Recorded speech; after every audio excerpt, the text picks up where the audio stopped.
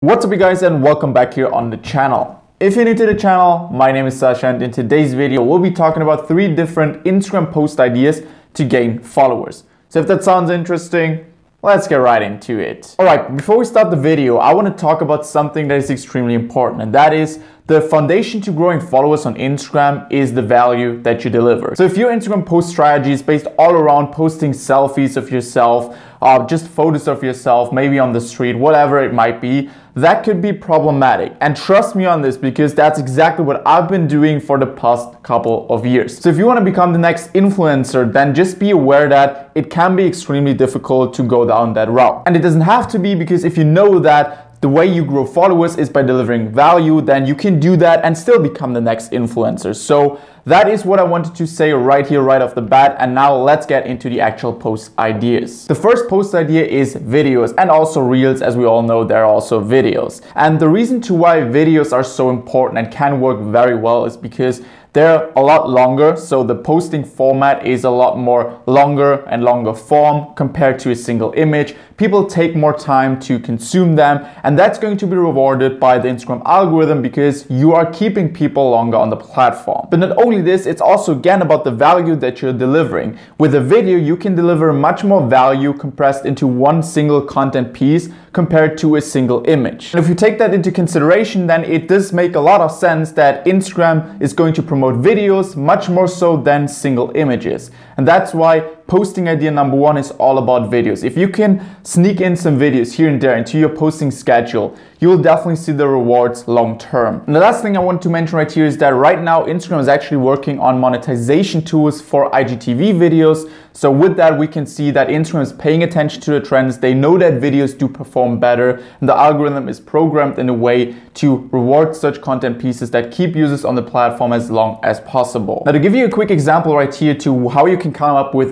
videos in your posting schedule, you could, for example, create a tutorial. So if you want to go down that influencer route, you could create a tutorial, for example, about your makeup routine or your outfits, how you can come up with great outfits, how you match colors, something like that where you're giving your audience a tutorial and delivering massive value through a video format. But it could also be a tutorial on how to do a certain exercise in the gym. So you gotta be creative with this one, but uh, you get the idea. So with the video format, you've got more room, more potential to deliver value and help somebody out or give them some inspiration, whatever it might be, and therefore increase the amount of eyeballs that content piece receives and therefore also growing more followers. Post idea number two are carousels, because again, very similar to videos, it's a lot longer of a content format and you're able to deliver much more value through a carousel compared to a single image. And what you can do right here to enhance the situation is you can take your single image that you wanted to post anyways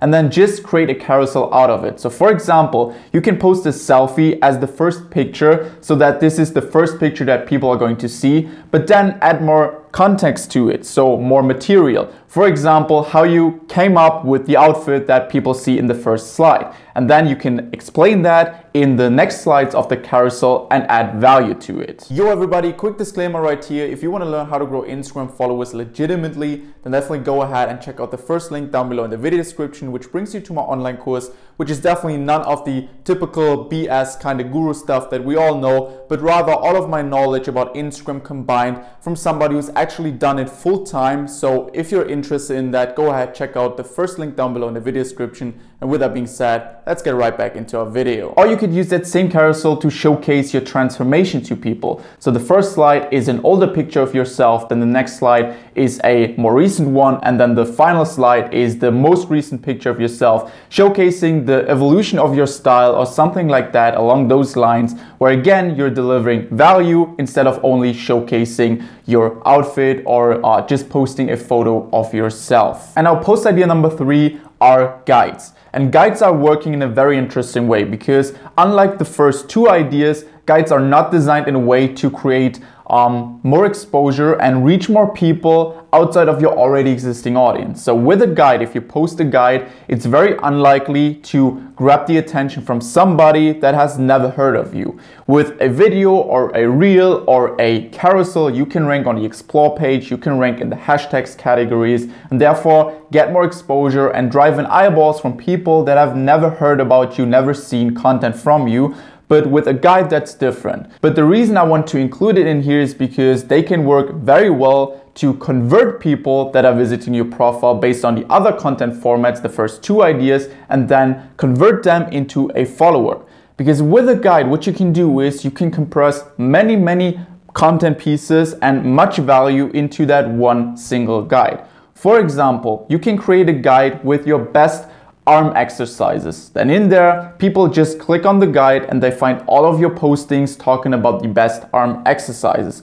Or it could be cooking recipes. So you have a guide talking about your best vegan recipes. So as you can see with the guide, you can put in all of your knowledge, all of the value into one spot, talking about the same thing, the same topic. And therefore, if somebody stumbles upon your profile because of another content piece, then see you also have guides where all of your, your content is uh, compressed in there they're much more likely to follow you because there's a lot of value to gain from your profile and from following you. But now with those three Instagram post ideas covered, let's talk about something that will help you to gain even more followers and come up with even better Instagram post ideas in the future. And that is paying attention to your Instagram insights.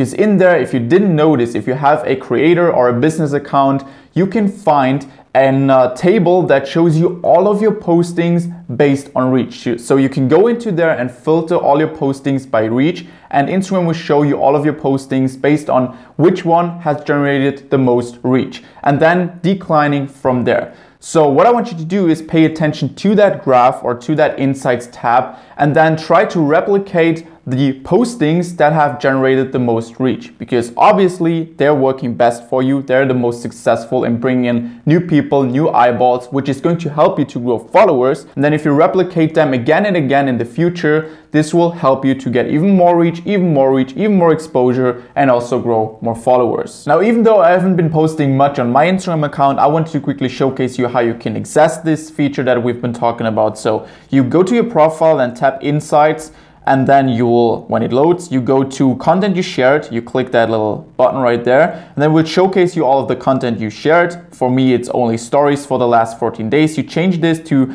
last 30 days, um, and then you uh, let it set at reach, so you don't have to change that. This is by default somehow, and then it will show you your content based on reach. So again, for me, it's not a lot going on right here, not very interesting, but for your account, you should be seeing your Instagram postings right now, your stories and also your normal postings, videos, IGTVs, whatever you've been sharing in here and sorted by reach decreasing so you can see right off the bat which content pieces have been working best for you and now you want to go ahead and replicate them so that you can get more and more reach in the future going on from here and grow more followers. Now with that being said you guys that's it for today's video. Don't forget to like, comment and subscribe and I'm looking forward to see you in my next video.